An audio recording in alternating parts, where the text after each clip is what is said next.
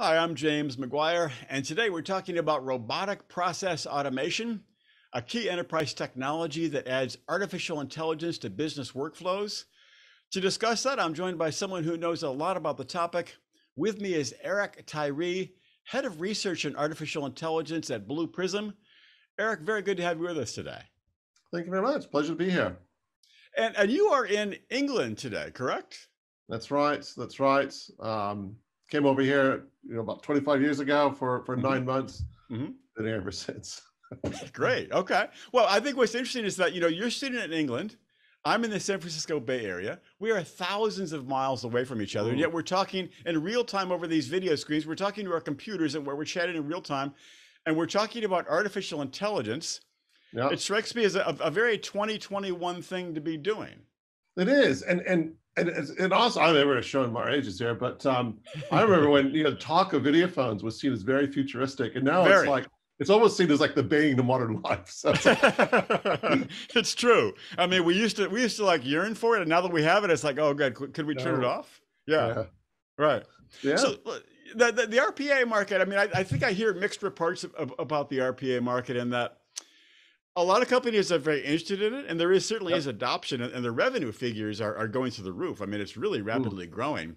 But my, my question is, is it fully mainstream yet, or is it more, uh, you know, cutting edge? What, what, what is your sense about robotic process automation and, and companies actually deploying it? Yeah, it's definitely past the early adopter phase. Mm-hmm. I wouldn't describe it as mainstream yet, but I think it's reached the point where most companies are aware of it to some degree. I mean, I've I was first seeing it good five, six, seven years ago. Um, mm. Actively trying to use it in my previous company, so about a year ago. Mm. So I think it's it's well known. and other people are aware of it. They know it's a technology is out there, but I don't think it's seen as a mainstream standard toolkit as part of the overall digitalization, you know, mm-hmm. of, piece. Mm-hmm. So it's still, I think, it's beyond early adopter, but it's definitely still emerging, is the way I would describe it. Gotcha. I, I think that, that I hear too, in terms of the adoption, and maybe something that is still slowing it down, is that not everyone is absolutely thrilled with their RPA deployment. I mean, they they want the potential and then they buy it or they they you know they rent it as a service.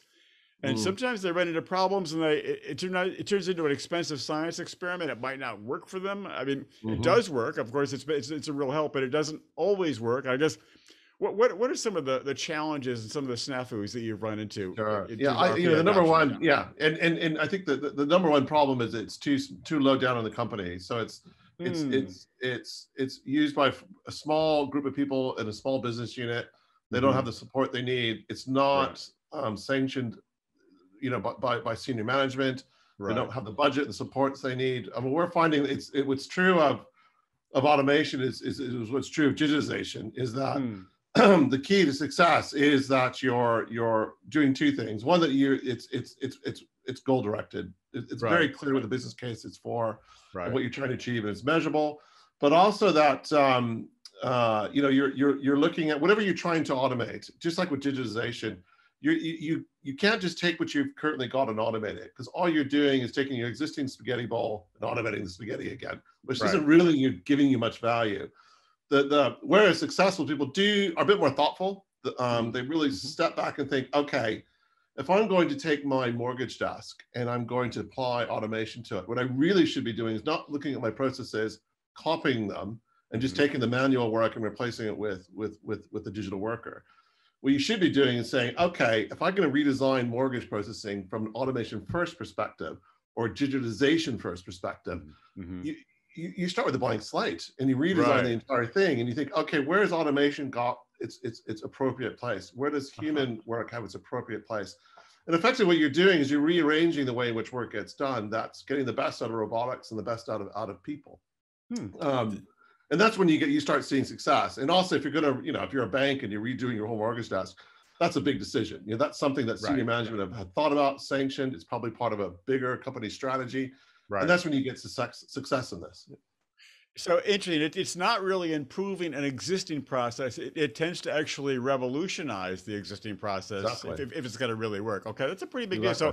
deal. So people aren't doing it as a, a, little shadow IT project with the company credit card and thinking we're going to experiment with this. It has to really be a lot of buy-in from above to make it work. It, it does, but also you, you're kind of touching on something that's also part of the revolution is that it, it's it's this is about automation driven by operations. So the, mm. the, the, the, reason RPA has been so successful and has such a high uh, ROI is mm-hmm. you're automating on top of existing IT. So for example, if you're looking at digitizing your mortgage desk, right. there's two ways to really do it. I mean, the, the one way is you go, you rebuild it from scratch physically, and you build a straight through processing system.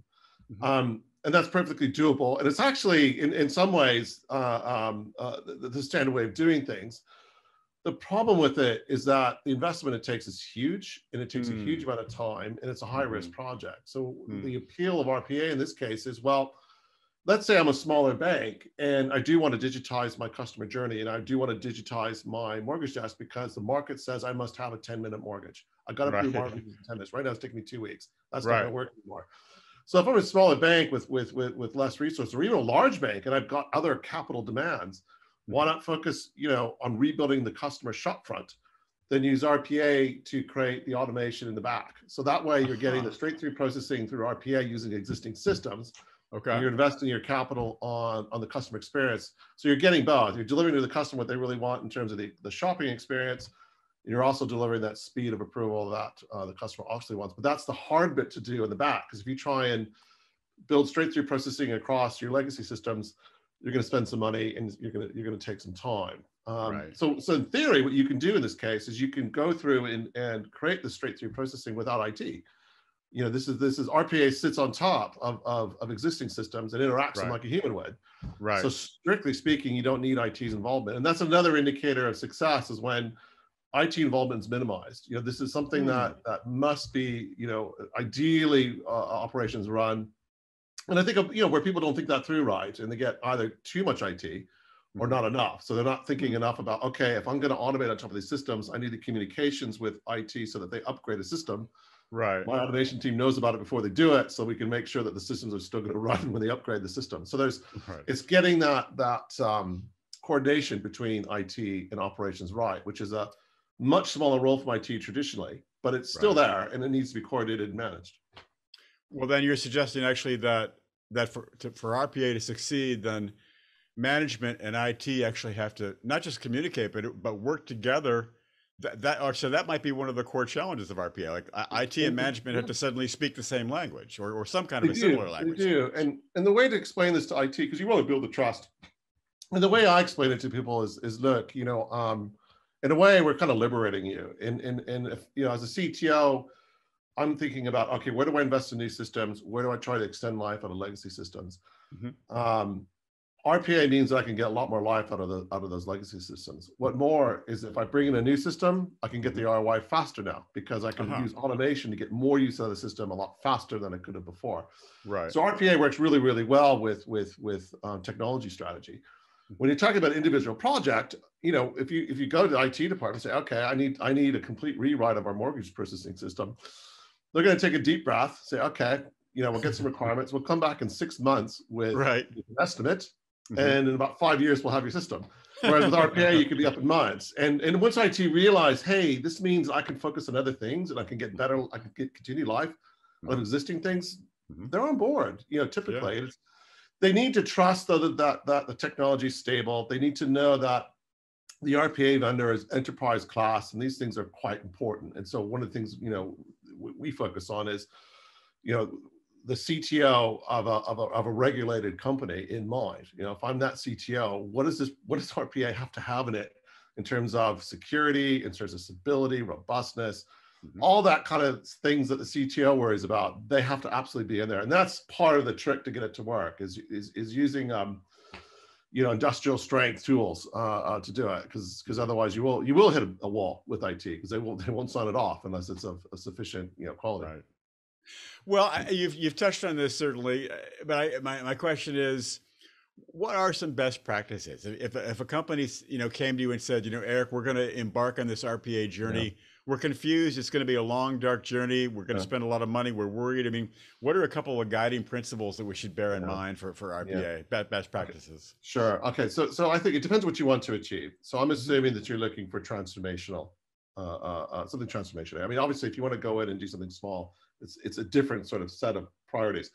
Right. But let's just say you, you, this is something big, and you know you want to start with your mortgage desk, and you're going to move to other back office systems, and, and, and you're doing a big, big, a big automation play.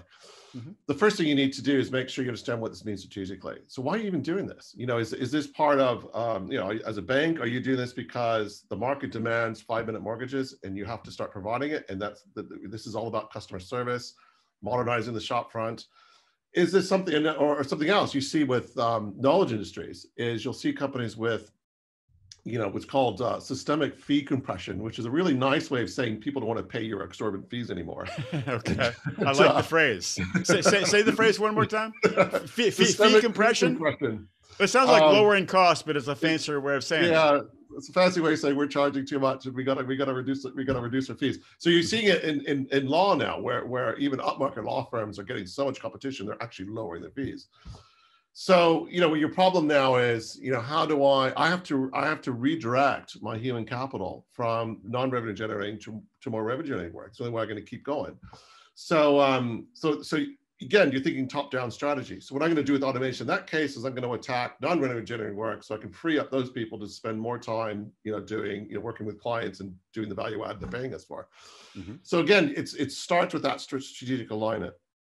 Most important thing. Without that, it's going to sit there and fester as a small project and never get anywhere. The next piece is to set up your center of excellence. Um, it does take some skill and some knowledge. It's not great. It's the kind of thing that a power user can build. You know, you don't need to be, you don't need a PhD in robotics to do it. You need to be the kind of person who can is comfortable with macros. Well, if you've got that kind of the, the, coding, right? The actual software. Yeah. So is is is it a low code thing or not? So it's, it's, it's, not. Is it low code? Yeah, it's low code, but there's okay. some. You know, we can train somebody in days on it um because okay. there's some right. basic kind of concepts you need to understand mainly like how do you light programming concepts. But if you're if you're if you already can write a macro you can do it. It's ah. you'll, you'll learn it right away. So it's a low code not quite no code. We're, we're trying to get as close to no code as we possibly can. Right. Um i think you know i think the whole world's trying to get as close to no code as it possibly can. It's right. going to be a bit asymptotic. I think everyone's going to get closer and closer and closer. We're never going to quite get there. Right. but um but the the idea is point and click I want to, you know, I want I want the the digital worker to interact with that system over here. It's, you know, I literally click on it, I get drop down menus, I click what I want it to do. So it's very, very simple to use in that sense. Um, hmm. but it is something, you know, you're, you're kind of person who's comfortable doing that. So it's, you know, it's, it's, right. it's, or you're, you know, if you're, if you're comfortable programming, uh, you know, um, you know, your cable box and you can, you can do it. Oh, well, um, which right. does exclude a lot of bar then. To be honest. well, but, well, that's um, true. Not everyone can, not everyone can program their cable box. I, yeah, it, it could take a half afternoon to be sure. Yeah, exactly. So um, um, so you need so you need that that kind of level of skill to be developing, but you also need people who know how to who can construct a some sort of operational structure to manage automation that can either be done centrally or some people federate it so they put groups in different divisions and maybe have one central group who kind of advise but um, mm-hmm but you need that center of excellence. And and you know they run the automation projects. They understand how automation projects work. Um, they, they have the skill sets and they're not just to build the digital workers but the stakeholder management. They know how to re-engineer processes and can do all that. So it's hmm. um, you know and that's quite important. And um, but i think if you have those two things you know what you're trying to achieve from a strategic right. level. You've right. got the operational structures in place. And then at project by project level you have a very clear understanding what you're trying to achieve. So if it's the if it's you know the, the reorganization, the mortgage desk, you understand strategically why you're doing it, and you understand your target. I got I got to get this down to five minutes. So that means that most of the time I'm going straight through, um, and there might be a quick human check at some point, but but really it should be 100% electronic. And that, but I do know I'm going to get cases that are going to get kicked out to humans. I know I'm not going to hit five minutes all the time. That's fine. You make sure that's agreed with the with the customer side you right. a very well defined process for doing that. Um, but the point being is that you, you understand what you're doing strategically, you understand what your metrics are for that particular project, mm-hmm. um, and you've got the right kind of, you've established the right operational structures to be able to to build automations and and these are things that you know for example i mean every vendor trains people on so it's not like you know you right. you you right. you're sort of handed a lego set and you have to go figure it out without an instruction right. manual you know, for, right, like right. With, with, Rush, you know, we'll train. You we have a thing called the ROM, which is basically your your best practices and and and methodology for creating automations, and we train you on that, and we train you on how to create a, a center of excellence. because hmm. um, because we know it, that, that, that's critical and if you don't have that you're not going to get the success so it's in our right. interest to do this um, sure. I, the, all i argue is that the bigger your ambitions are the more senior and the more aligned you need to be with with, with strategy so it's it's um, and that's just i think that's true of any project but I, particularly if you're going to be playing around with the company's operations. You know, you want to know that you you're you're aligned and and your boss and your boss's boss and your boss's boss's boss all know what you're doing and agree to it and think it's a great thing. Right. Um, and you should be all right. Um, yeah. Well, it's interesting because the, the technology is you know, being really rapidly deployed. It's maybe it's not as, as we mentioned earlier, it's not all the way mainstream, but it's headed there rapidly. I, you know, mm. given that, I think it's interesting to look at where the future of RPA is, maybe a, a, few years out. And I think one of the key parts of that is the idea of artificial intelligence. And let me see if I can clarify my question. It might be a little vague, but you, you might help me clarify it. Is that when people talk about AI, sometimes there's a lot of confusion about it. Like I, I yep. think about artificial intelligence is is a system that can learn without human intervention. Once you set it up, it can begin to learn and adapt. So I think a certain amount of things that are called AI aren't necessarily really AI. Yes. Uh, you know, so I, I guess it's I, more than what you're saying. So, all right, so I'll, I'll, I'll, I'll, put it to you this way: it's Please. All right, I'll give you the cynical answer, and I'll give you the real answer. The cynical okay. answer is the old, the old, you know, the old chestnut that any technology sufficiently advanced appears to be magic. Yes. And I think with AI, you know, anything, any technology that's sufficiently advanced appears intelligent. Um, it's math right. at the end of the day.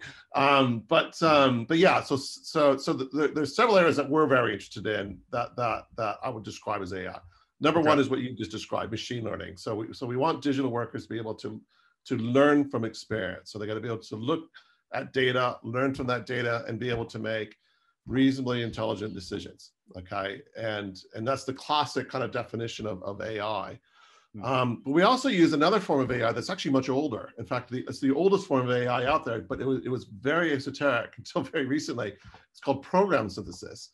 And this uh-huh. is all about um, programs what? I'm sorry i didn't hear program the, synthesis. Uh-huh okay right. and this is about how do you get digital work or how do you get programs to write their own programming and people have been trying to do this since the 1950s so it's actually older than machine learning Wow. Um, but it's always been kind of an academic subject, and it's with robotics that it suddenly exploded out into the into the mainstream. And mainly, where, where this has come from is um, if you want to scale up digital workforces quickly, hmm. it helps the digital workers can write their own programming. Right. And so that's something we've become, you know, we're, we're really really interested in. So we've currently got digital workers writing the design. So when you when you produce an automation, you first you know you rethink the the, the, the process you create a design, and then based on the design, you produce the actual automation. So what we're doing, what we just released or released the second version of now is, is the automation of, you can record the process and the digital work can write the design for you. Oh, okay. The next release uh, uh, is going to be it writes the programming, or at least most of it. And the idea here is it's not perfect. The idea is it's taking the busy work out for the developer. So the idea is it's producing a basic design that you might want to tweak and optimize the code it produces is is is most of what you need, but again, you're going to have to tweak it a little bit to get to work. Mm-hmm. But the plan, you know, already we've taken 25% of the time out of producing a, a, a, an automation just by doing the design work. Mm-hmm. And we're, we're going to get it to about 60, 70% by the end of this year by, by, by taking out the programming. And so again, you know, that's, that's, that underneath the hood. Yes, there's, there's also a bit of machine vision and machine learning in there as well. So it's not just, you know, program synthesis and that's maybe what the trend is is that with what i love about robotics one of the reasons i got into it is it brings all these things together so you also have you know, natural language processing and computer vision and machine learning and programs all these things are all coming together in one place. And that i haven't seen that. You know that was very rare to, to encounter that until now because you need it. A digital worker's got to do everything a person can do.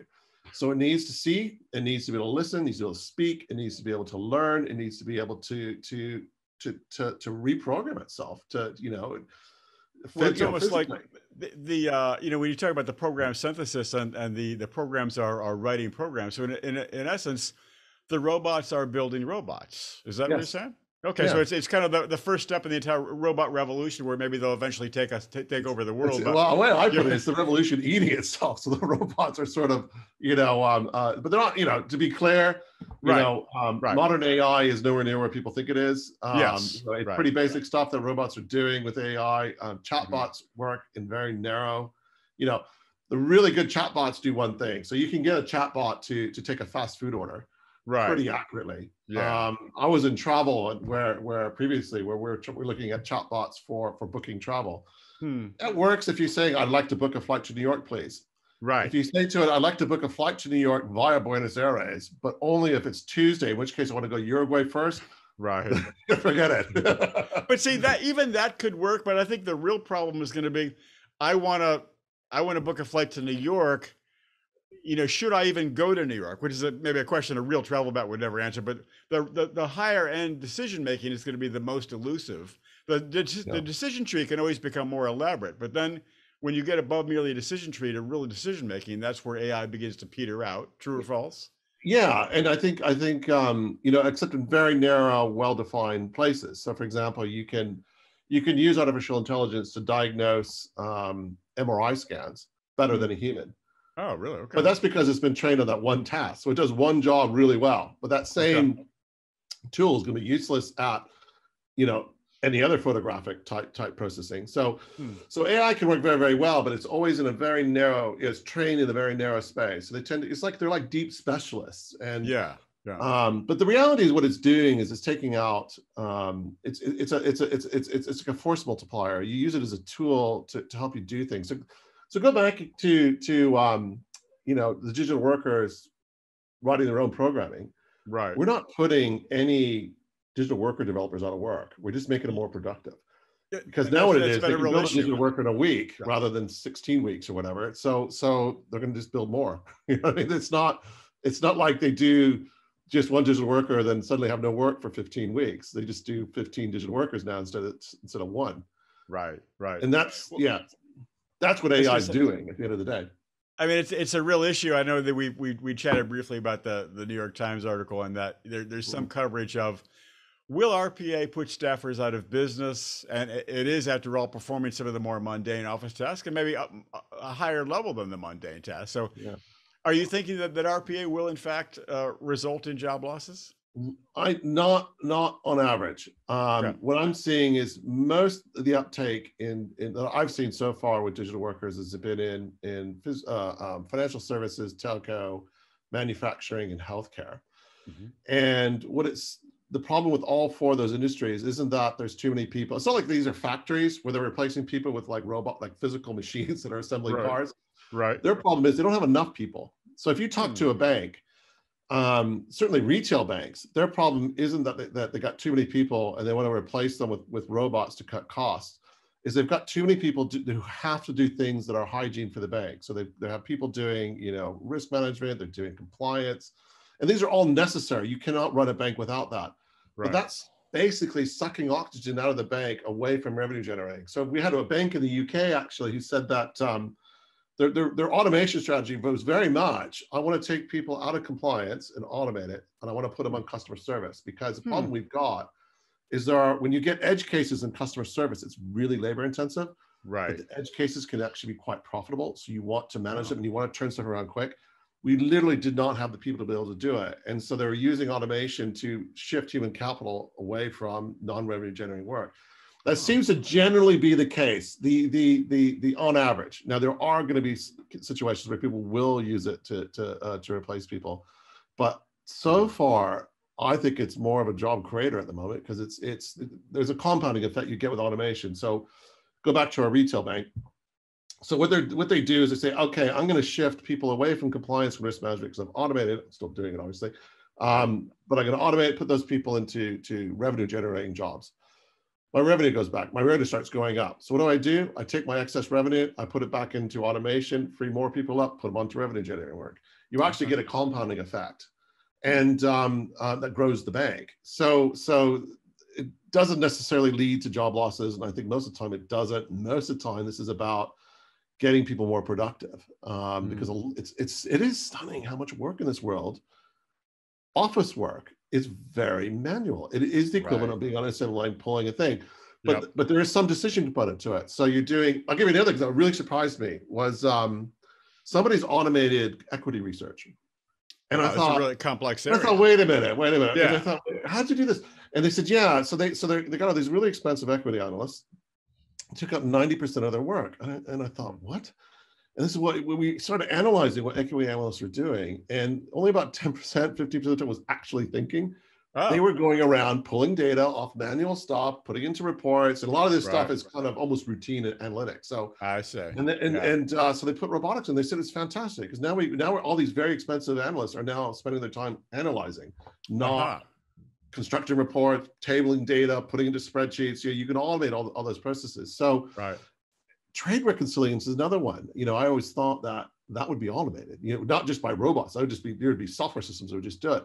Right people don't don't you know they're finding that RPA is a better way to do it. And at the end of the day, it's it's taking the horrible work. I mean, I've I've had to do that in the past life. It's not fun. And, right. Um, and uh, but it's it's very automatable, but it's different for every the reason is every situation is different, every every bank is different. So there's chunks that can be automated that takes a lot of the sort of mind numbness out of it. And so what they're finding is, you know, the, these people who are doing the trade reconciliation are focusing on the real problems, not on the manual okay, I got to go check those three systems, check those three systems, see if it matches there. If it doesn't, I go there. You can get robots to do all that. And now what they're focused on is where, okay, what really went wrong? Hmm. and you know, what do I got to do to fix it? And um, so that seems to be the, the, the most common case. Um, but um, so I don't think it's doom and gloom. Yeah. Um, and we do, you know, when we go into companies, we do have to educate people on this. You know, we do get that concern from employees, and it's fair enough. I mean, it's you know, I, I right. you know, it's not unreasonable when the robot right. people come in, you get a bit worried. um, but um, but but you know, people realize very very quickly that it really is a tool for the average worker, not a replacement for the average worker. So I, I want to make sure I might have derailed you a bit off the off the future. We talked about it certainly, but give it a, any last thought on say where the future of RPA is going to, and, and perhaps how a company might prepare for it now. Yeah. Okay. So it's I think it's it's going to become a, um, a major component of digitization going forward, and I think definitely, the future definitely. of digital of, of, automation is digital workforces. So we're going to start. We're going to talk less about digital workers and robotics as a function. Mm-hmm uh, Uh, it's going to be much more talked about as really a third part of your workforce. So, you, so right now you basically you've got humans and you've got like the systems they operate on to conduct business and operations. Right. I think we'll we're going to well we already because we're, we're building it is digital workers is that third force and where RPA and robotics is going is it's not like you're going to have people over here digital workers over there and they kind of don't talk to each other, they're going to be fully integrated. And we talk about it as the unified uh, uh, uh, workforce, where hmm. in effect you're interacting with with with um, digital workers. You may not even know it. So so the way we're designing the sort of management platform for this is that the, the think of it as like a BPM platform for automation. Right. Is the platform just knows that there are people there there are some workers that just turn up nine to five and, and don't work for an hour at lunchtime Right. And um, there's other ones that just seem to work 24 seven, but that's fine.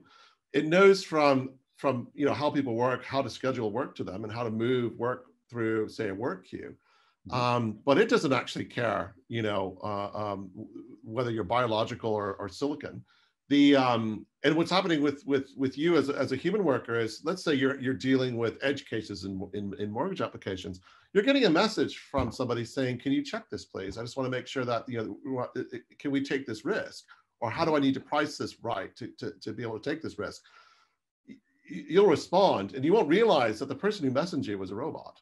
Um, right, right. that's already happening, and and, yeah. and but that's we want to take that to the enterprise scale, which is when you redesign your mortgage desk, that's what you're designing in. You're literally saying, okay, if it's all the, the sort of generic mortgage applications out there that are low risk, you know, we just they get swept through by robots. The robots are then looking, ooh, this one looks a bit borderline.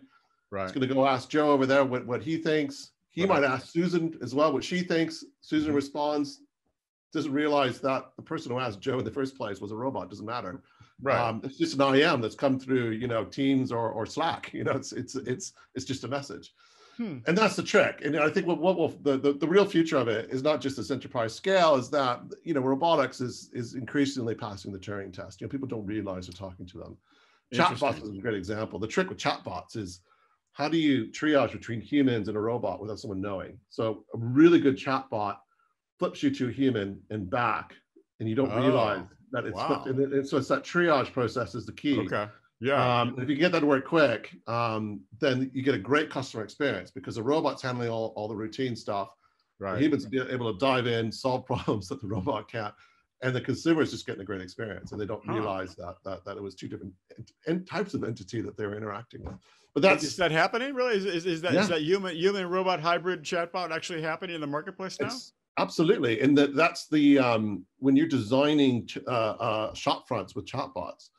A big part of your design is how do I do that triage? So how do I know that a robot can solve a problem and then I can flip it to human. And how can I get the flip back and forth to be smooth enough that you don't realize that's happening? Because because right. what you want in a day is that customer that smooth customer experience. Mm-hmm. You want the robot to deal with the 80% of cases that it should be able to deal with. You want your humans in on the 20% that that require a human being. Mm-hmm. And you want the customer to be happy. And, and it's that what you don't want is that the robot does something stupid right. or that it just stops. you know I mean? Or there's like indeed please wait a minute. And like I'm, fr- I'm frozen, 20 minutes yeah. later, a human comes on the line. Says, what, can I help you, sir? You know, right. Right. Yeah. So that's, that's, it's, it's actually part, core part of the design. And mm-hmm. Our vision of, of human robotic cooperation is precisely that. In that it's not just the, the customer who's seen that smooth experience, the employee's seen that smooth experience. I mean, they're, you know, again, you know, and even whether they're aware of that, that the entity that they're interacting with the robot or not, it should be a positive experience. Right. So a big part of what we're doing as well is looking at, well, if I've got a robot that's working at the speed of light, you know, I can process a mortgage application in a second, whereas a human might take 10 minutes um, or 10 minutes to answer a question. The, the, the, the, the, the, the digital workers know that, hey, I, I know I'm dealing with a human and I'm not going to bombard them with 30 cases in the next 10 seconds. Right. I know that I got to give them a case, wait, and they'll come back to me. You know, so there's that intelligence to the, the, the digital worker knows it's dealing with a human and it knows that, okay, I got to pace my work in a way that that, that the human can handle right. um, because that, that it knows how to work with people and it's a bit like teaching humans you know how do you work in a social environment you learn those skills mm-hmm. and it's putting those kind of um, co- cooperative skills into digital workers is, is, is, important and we do that through the management platform actually so it's uh-huh. the management platform is worrying about this and that way you you don't have to train each robot on it you just gotta you know a, basically a central brain that's kind of saying you know uh, you're a robot. I know that. I know that your your rate of working is much higher than that thing over there. So you know, space it out a bit. So it's, right. it's you know, fascinating. Fascinating. Eric, I think you said it. I think it's going to be. There's no doubt about it. RPA is going to really alter the workplace. Clearly, it is. Uh, so be curious to see how it goes. Hopefully, we'll we'll have you back on again in, in a while to see how it progresses. Uh, but I, I thank you very much for sharing your expertise today. Yeah, no, my pleasure. Enjoyed it. Yeah, It was a blast. All right. Thank you very much. Take care. Thank you. All right. Bye-bye.